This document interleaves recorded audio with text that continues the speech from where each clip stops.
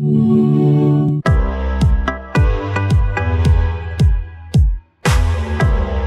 ากเมื่อสักครู่นี้นะคะ พอเราฟังว่าเออ AI มันก็น่ามีโอกาสที่จะเกิดความผิดพลาดขึ้นมาได้ อยู่เหมือนกันเนี่ยค่ะ ไม่ทราบว่าในมุมของกฎหมายแล้วค่ะ ทาง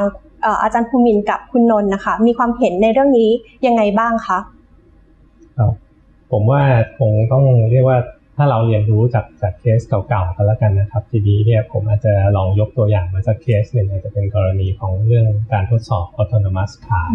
นะครับอย่างเหตุการณ์ที่เกิดขึ้นในอาริโซนาเนี่ยนะครับ ซึ่งมันก็มีเหตุการณ์ที่เป็นกรณีที่เขากำลังทดสอบระบบอยู่นะครับ แล้วก็ดันไปเจอกรณีที่เครื่องเนี่ยเวลาที่ประมวลผลนะครับ ถึงแม้จะใช้ทั้ง เรดาร์ LiDAR อะไรทั้งหลายแหละนะครับ เข้ามาประมวลผลก็ตามแต่ แต่ผลมันดันออกมาว่าบอกว่าเป็น unidentified object คือตอบไม่ได้หรือ unknown object ขึ้นมานะครับ ที่จะไปบอกว่าเกิดอะไรขึ้น วิธีการที่ผ่านมาที่เขาพยายามพิจารณา ซึ่งแต่เดิมเนี่ยเขาก็คงจะมุ่งเป้าไปแหละว่าไอ้จริง ๆ มันเกิดจากความผิดพลาดของ AI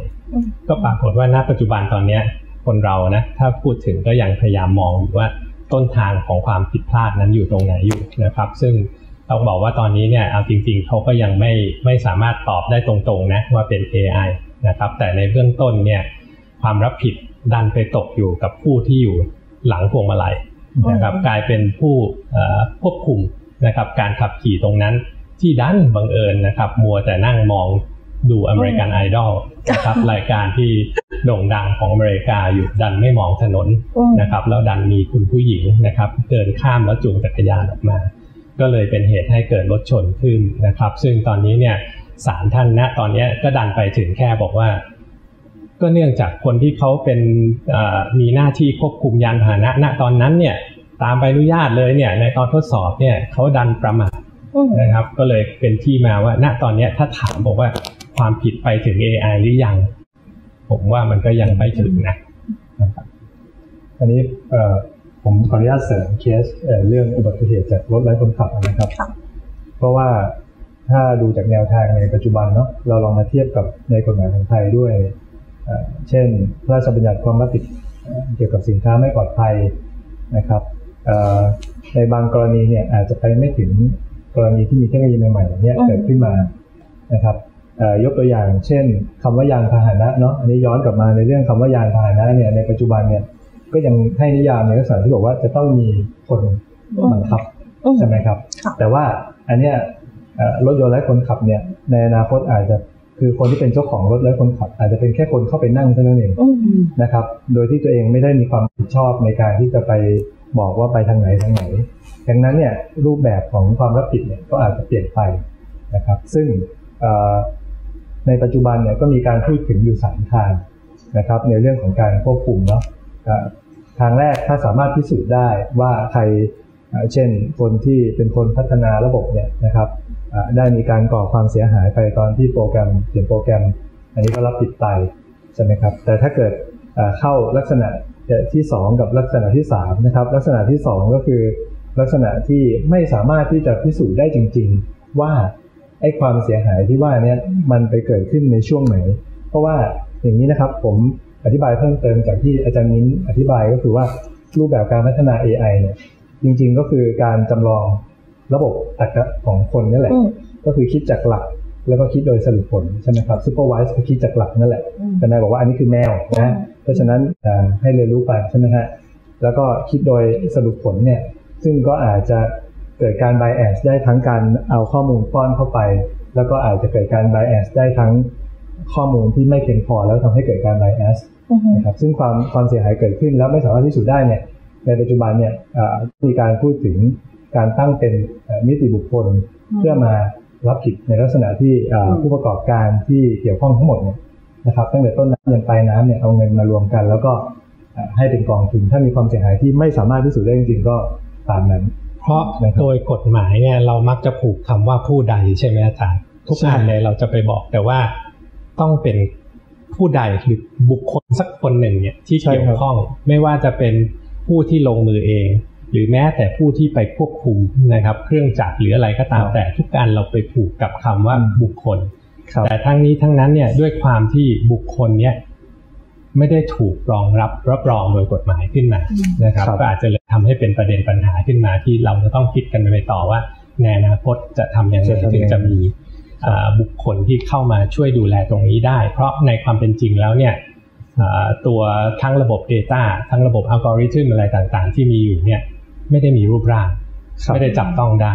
ใช่ใช่ไหมครับครับครับ แล้วก็อีกอันหนึ่งที่ที่ อยากจะพูดต่ออีกนิดนึงนะครับ เกี่ยวกับเรื่องของความรับผิดก็คือ ทุกอย่างทุกเรื่องที่เกี่ยวกับเทคโนโลยีนะผมขออนุญาตใช้เทคโนโลยี A B C D เนาะ AI blockchain เอ่อ cloud computing data พวกเนี้ยนะฮะในปัจจุบันเราไม่สามารถใช้เอ่อรูปแบบกฎหมายแบบเดิมได้อือฮึเพราะว่าเทคโนโลยีเปลี่ยนไวมากอืมนะครับพอเปลี่ยนไวปุ๊บเอ่อเราก็เลยพูดถึงเรื่องของ self regulation เรื่องของการกำกับดูแลตนเองของภาคเอกชน แต่ว่าการกำกับดูแลตนเองของภาคเอกชนเอ่อ โดยที่รัฐไม่ได้เข้าไปตรวจสอบเลย มันก็อาจจะมีลักษณะของการเอื้อประโยชน์ซึ่งกันและกันนะครับ อันนี้ก็ก็เลยเป็นอีกมุมหนึ่งที่ที่ที่ที่เริ่มพูดถึงเหมือนกันหรือจะเอากำกับดูแลแบบจีนมีไหมอาจารย์ อย่างเช่น กรณีที่เขาใช้ AI ในการเข้าไปปรับคนเดินข้ามถนน โดยไม่เดินข้ามตรงทางม้าลายเป็นต้นอย่างเงี้ยครับ ผมได้ยินว่าเดี๋ยวนี้เนี่ยเราไปเดินในเมืองจีนเนี่ยแค่เพียง 5 นาทีถ้าเราเดินข้ามถนนแล้วกล้องเขาจับหน้าเราอยู่ แล้วเราทำผิดกฎหมายหรือหรือเสนอมุมคิดอีกมุมหนึ่งค่ะ ก็คือว่าไม่มี AI ที่ exist โดยที่ไม่มีมนุษย์อืมใช่ก็คือมันจะถูกแบบถูก absorb ไปตอนไหนนะคะ แต่ไอ้เส้นที่จะบอกว่าอันไหนคือคือคือมันจะไม่มีแบบเอเจนต์ที่ตัดสินใจได้เอง ถ้าไม่มีไม่มีเอิ่มการเข้าไปมีส่วนร่วมของมนุษย์อะไรอย่างเงี้ย ปัญหาก็คือแหมอาจารย์เราก็อยู่อืมยังไงก็ถ้าณวันนี้อายุเฉลี่ยก็คงไม่เกินหนึ่งร้อยอะเนาะนะครับ โดยเฉลี่ยฉะนั้นถ้าถามว่าแล้วถ้า AI ซึ่งเขาเป็นเครื่องจักรเขาอยู่ไปได้เกิน แล้วผู้สร้างสรรค์ไปแล้วอืมจะทำยังไงอืมนะครับอืมน่าใช่สครับนใจก็อันนี้ก็จะเป็นประเด็นที่มาเกี่ยวข้องกับเรื่องความรับผิดเนาะเพราะว่าเอ่อเทคโนโลยี AI เนี่ยคือถ้าเราถ้าเราพูดก็คือเรื่องของอัลกอริทึมกับข้อมูลใช่ไหมครับ แล้วยิ่งเอ่อเรียกว่ามีการพัฒนาไปอย่างยาวนานเนี่ยผมว่ายิ่งมีประสิทธิภาพนะถ้าพูดถึงใช่ไหมครับอืมซึ่งบางทีเหมือนที่คุณนนท์พูดก็คือว่าไอ้ตัวตัว AI เนี่ยอาจจะใช้ยาวนานมากๆเลย แต่บริษัทเนี่ยถูกควบรวมกิจการถูกเปลี่ยนไปตลอดเลย แล้วใครจะรับผิดล่ะในอนาคตใช่ไหมครับ ซึ่งอันเนี้ยเป็นเป็นประเด็นที่สำคัญเนาะกับอีกส่วนหนึ่งก็คือในส่วนของตัวเอ่อนักพัฒนา ใช่ไหมครับผู้ออกแบบเทคโนโลยี ซึ่งก็จะต้องมีการควบคุม ซึ่งอาจจะไปเกี่ยวโยงกับประเด็นเรื่องของจริยธรรมอืมในประเด็นถัดไปใช่ไหมครับค่ะใช่จริงๆ เราขอแตะอีกนิดนึงได้ไหมคะ ในส่วนของความรับผิดทางอาญาค่ะ คือเอ่อคุณนนท์กับอาจารย์ภูมินมองยังไงคะเพราะว่าถ้าเป็นความรับผิดทางอาญามันจะต้องมีเจตนาเข้าไปมีส่วนเกี่ยวข้องด้วย ทีเนี้ยถ้าเป็นในมุมมุมมองของ AI เนี่ยมันมีความเป็นไปได้แค่ไหนที่จะให้ AI มีความรับผิดทางอาญาเกิดขึ้นนะคะ เออคือผมมองผมมองอย่างนี้นะครับ มันก็มีกรณีศึกษาเหมือนกันเนาะอย่างที่พูดถึงเนี่ยเช่นเรื่องเฟกนิวอืมเพราะว่าในช่วงการเลือกตั้งเนี่ย จะเกิดกรณีที่อ่าเอาเทคโนโลยี AI มาเป็นอ่าทำเฟกนิวเยอะมากนะครับ แล้วก็ทีนี้ถามว่าใครจะต้องเป็นคนรับผิดชอบอะไรอย่างเงี้ยใช่ไหมครับ ซึ่งผมมองว่าในทางอาญาเนี่ยนะครับ ที่ผ่านมาเนี่ย มันเป็นเขาเรียกว่าอ่าความรับผิดที่มันผูกผูกติดกับ เหมือนความผิดจากจากจากตัวผู้กระทำอะอืมนะครับ หรือว่าตัวคนที่เป็นเจ้าของทรัพย์ใช่ไหมฮะอืมซึ่งถ้าเราย้อนกลับมาดูในประเด็นของการกฎหมายที่จะออกมาควบคุม AI เนี่ยถามว่าทำไมถึงต้องเป็น self regulation ทำไมต้องกำกับควบคุมแบบหลวมอืมๆใช่ไหมครับ เพราะว่าหนึ่งคือการพิสูจน์ยากมากเลยอืมแล้วก็สองก็คืออามีผู้รับผิดชอบหลากหลาย นะครับ ดังนั้นเนี่ยอ่าโดยปกติแล้วถ้าเหมือนกับไม่สามารถบอกได้นะครับว่าว่าใครเป็นเจ้าของทรัพย์เนี่ยอืมซึ่งเรื่อง AI ก็ยากอยู่ละว่าว่าเป็นทรัพย์สินหรือเปล่า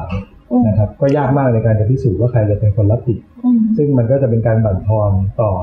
การพัฒนาเทคโนโลยีของนักพัฒนาครับอันนี้ในมุมมองผมผมก็คิดว่าจริงๆไม่ควร